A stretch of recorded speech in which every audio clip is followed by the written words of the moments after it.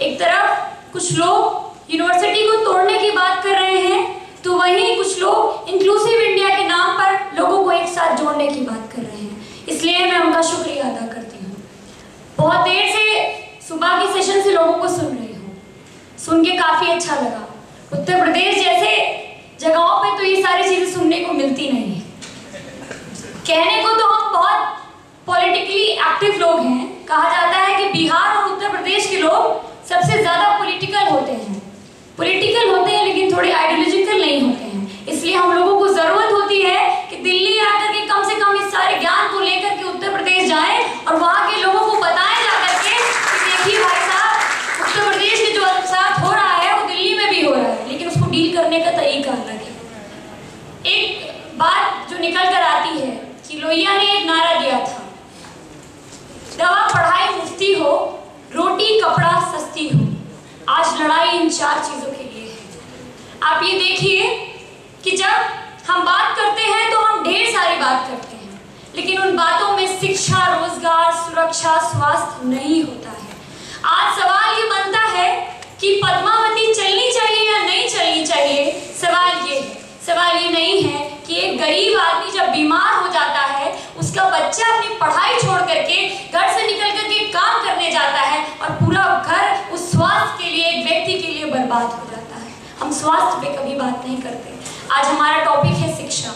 बहुत महत्वपूर्ण बात है, जब हम शिक्षा की बात करते हैं तो मोदी रिजीम की बात, चूँकि चार साल ऐसे गुजरे हैं कि किसी के जेल में गुजरे हैं तो किसी के यूनिवर्सिटी कैंपस में धरना करते गुजरे हैं क्लासों में जब पढ़ने जाते हैं तो एक घंटा मिलता है अब एक घंटे में सवाल ये रहता है कि कितनी जल्दी ये सिलेबस को खत्म किया जाए? क्योंकि अगर बाहर लड़ने नहीं जाएँगे तो ये सिलेबस ही खत्म हो जाएगा और हमें पढ़ने का मौका नहीं मिलेगा।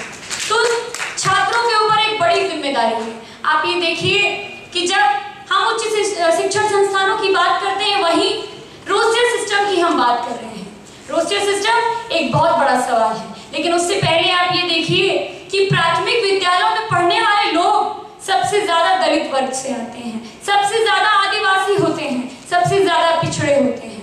वो लोग जब प्राथमिक विद्यालय में पढ़ने जाते हैं तो वहाँ पे शिक्षा के नाम पर उनके साथ मज़ाक किया जाता है। आज इस देश में दो तरह की शिक्षा व्यवस्था है। एक तरफ़ कॉन्वेंट एजुकेटेड लोग हैं, जो वेल टाइट बेल्ट लगा के एकदम मेंटेन रहते हैं, और एक तरफ़ वो बच्चा है, जो बैग में अपनी किताबों के साथ थाली लेकर के जाता है, और सोचता है कि कुछ नहीं मिलेगा कि मास्टर साहब पढ़ाएँगे नहीं पढ़ाएँगे लेकिन एक वक्त का खाना नसीब हो जाएगा आज ये हाल हो गया है। आप ये देखिए कि जब गरीब लोग, मेरी तरफ़ बहुत सारे कॉन्वेंट स्कूल हैं, वहाँ पे जब गरीब किसी तरह से मजदूरी करता है या कोई छोटी मोटी नौकरी करता है, जो प्राइवेट सेक्टर में काम कर रहे हैं, मैं उन्हें भी मजदूर ही मानती हूँ। तो वो मजदूर लोग जब जाते हैं अपने बच्चे को अच्छे स्कूल में पढ़ाने के लिए किसी कॉन्वेंट स्कूल में जाते हैं तो उनसे बोला जाता है कि देखिए, आपकी सैलरी कितनी है इंटरव्यू के नाम पे पूछा जाता है आप कहाँ रहते हैं आप कौन से पौष इलाके में रहते हैं, थोड़ा ये जान लिया जाए। आप I S P C S है कि आप क्या है ये मालूम कर लिया जाए? क्योंकि अगर गरीब घर का बच्चा हमारे स्कूल में पढ़ने आएगा तो हमारे स्कूल का माहौल खराब हो जाएगा। वो घर की गलत बातें सीख के आएगा और गाली गलौज करेगा स्कूल के अंदर। आज आप ये देखिए कि सरकार भी वही काम कर रही है जो ये प्राइवेट संस्थान करते हैं। प्राइवेट संस्थान बच्चों को वो सिखाना, पढ़ाना नहीं चाहते हैं। वो नहीं चाहते हैं कि कोई गरीब का बच्चा पढ़ लिख करके किसी बड़ी कंपनी का मालिक बन जाए। वो ये नहीं चाहते हैं कि किसी गरीब का बच्चा साइंटिस्ट बन जाए। क्योंकि अगर गरीब के बच्चे साइंटिस्ट बन जाएँगे तो ग्लोबलाइजेशन और ऐसे लोग जो अंतरराष्ट्रीय लेवल पर भारत से सस्ते पैसे में श्रमिक पाते हैं, वो कहाँ से पाएँगे? अगर गरीब का बच्चा पढ़ लेगा तो सस्ती दर में मजदूरी कौन करेगा? अंबानी और अडानी का बेटा तो नहीं करेगा। मैं इतनी बात, भली भांति तौर से जानती हम ये देखते हैं कि कैंपसेस के अंदर सबसे अनोखी बात यह है कि जब हम लोग दिल्ली में होते हैं तो मतलब लखनऊ में भी होते हैं तो दिल्ली को सुनते और समझते रहते हैं। डीओ में क्या हो रहा है जेएनयू में क्या हुआ? आप जान लेते हैं एचयू में भी क्या हुआ टीआईएसएस में भी क्या हुआ, सारी चीज़ों से रूबरू रहते हैं। लेकिन हम लोग सिर्फ़ सेंट्रली यूनिवर्सिटी पे बेस्ड हो जाते हैं। हम कभी ये नहीं देखते कि हमारा कोई साथी जो बलिया में पढ़ रहा है, वो सही से पढ़ पा रहा है या नहीं पढ़ पा रहा जब वो फ़ीस वृद्धि का आंदोलन हम लखनऊ विश्वविद्यालय में चला रहे होते हैं तो उस पर किसी की नज़र कभी नहीं जाती। क्योंकि शायद लखनऊ विश्वविद्यालय इतना बड़ा इशू है नहीं लोगों के लिए। जब लखनऊ विश्वविद्यालय के अंदर हम ये देखते हैं, छात्रों के बीच में लगातार जा रहे होते हैं और मालूम पड़ता है कि जितने आरएसएस के कार्यक्रम हो रहे हैं तो 2017 के बाद से ये सारे कार्यक्रम एकेडमिक्स के पैसे से बच्चों से लिए जा रहे हैं। और बच्चों से बोला जाता है फ़ीस दे दीजिए, क्योंकि हमारे पास इतना पैसा और इतना बजट नहीं है कि हम आपके टीचर्स की सैलरी दे पाए। इस नाम पर एक तरफ़ बजट बढ़ाया, एक तरफ़ फ़ीस वृद्धि की जा रही होती है। दूसरी तरफ़ उन्हीं पैसों से आरएसएस का कार्यक्रम आयोजित किया जा रहा होता है। उन सारे मोमेंट्स पे लोगों की नज़र तब पड़ती है जब लखनऊ विश्वविद्यालय के छात्र ये सपना देख लेते हैं कि जिस विश्वविद्यालय के अंदर गरीब किसान मजदूर का बच्चा, जो कि सच में सरकार से सवाल खड़ा करता है जो सच में अपने मूलभूत अधिकारों के लिए लड़ता है अगर वो नहीं आएगा तो योगी जी आप भी इस कैंपस में घुसने नहीं पाएँगे और ये छात्रों की ताकत होती है जो अपनी शिक्षा के लिए, अपने रोज़गार के लिए, अपने अधिकार के लिए सड़क पर लड़ते हैं। एक महीना हम लोग जेल रहते हैं। हालाँकि ये सरकार बड़ी इंटरेस्टिंग सरकार है।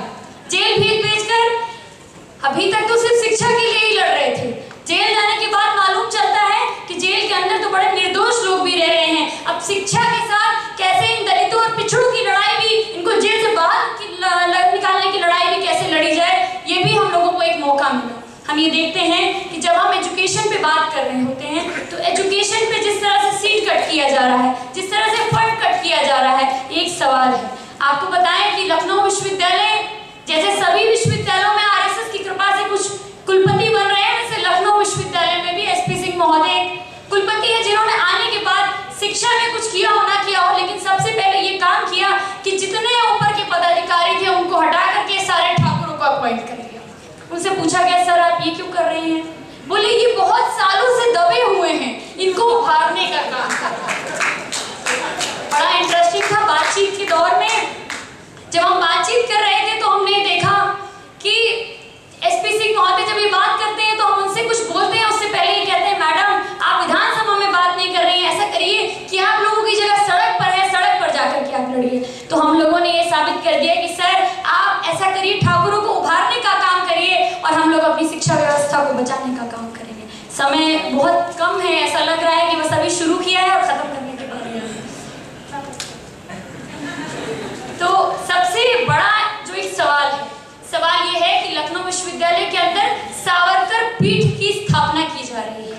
हमारे वीसी महोदय, हमारे मुख्यमंत्री महोदय ये कह रहे हैं कि सावरकर के मूल्यों को, सावरकर के भारत की अवसर है और हम ये चाहते हैं कि इसकी शुरुआत लखनऊ विश्वविद्यालय से हो। ठीक उसी तरह जैसे ये चाहते हैं कि इस्लामिक टेररिस्ट के बारे में जेएनयू में पढ़ा जाए, वैसे ही ये किसी और तरह का टेररिस्ट मैं नाम नहीं लूँगी, उसका ये चाहते हैं टेरर लखनऊ विश्वविद्यालय में पढ़ा जाए। मुझे ये डर लगता है, मैं ये देखती हूँ कि जब बीएचयू का सवाल आता है तो बीएचयू के मूवमेंट को बहुत बड़ी तरह से देखा जाता है। उससे पहले लाइब्रेरी का सवाल था। आज आप देखिए, जब आप मूलभूत सवालों के लिए लड़ते हैं तो आपकी जगह जेल में होती है।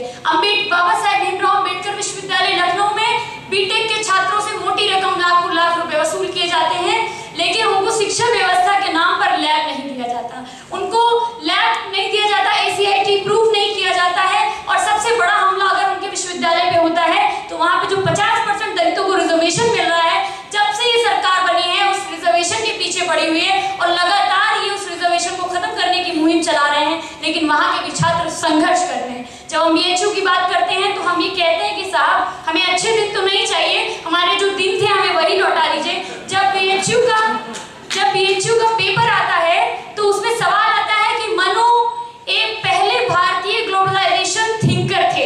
इसका जरा आप विवरण दीजिए। जब बीसी साहब के पास जाइए तो वो कहते हैं कि देखिए खाने से लड़कियाँ एक्साइट हो जाती हैं। तो ये उत्तर प्रदेश का हाल है। इलाहाबाद विश्वविद्यालय का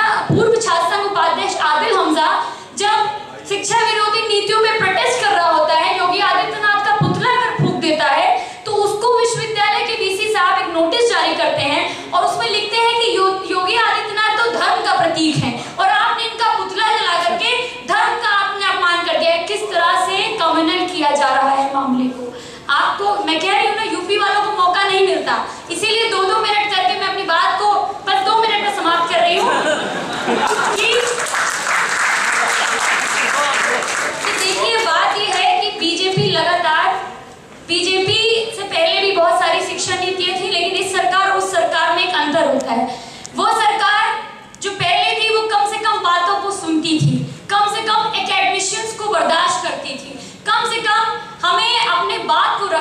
आज़ादी देती थी। लेकिन ये सरकार इतनी ज़्यादा निकम्मी है, खुद देशद्रोही है, खुद गद्दारी का इतिहास से लैस है, इसलिए वो चाहती है कि इस देश के लोग, इस देश के छात्र, इस देश के नौजवान सिर्फ़ और सिर्फ़ गद्दारी के इतिहास को पढ़े, वो अपने बलिदानों के इतिहास को ना पढ़े, वो अपनी गंगा जमनी तहजीब को ना पढ़े। और एक बात जो अंतिम है कि देखिए, न्यू इंडिया तो बनेगा, क्योंकि परिवर्तन प्रकृति का नियम है।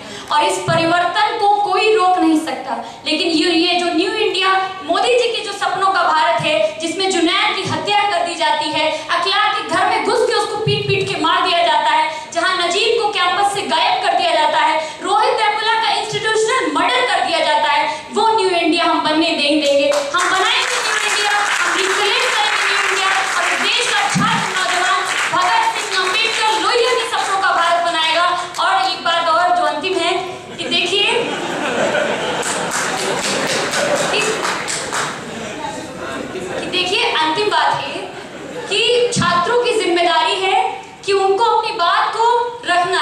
और लोहिया जी के इस कथन को जीवन भर याद रखिएगा कि जब सड़कें सूनी हो जाए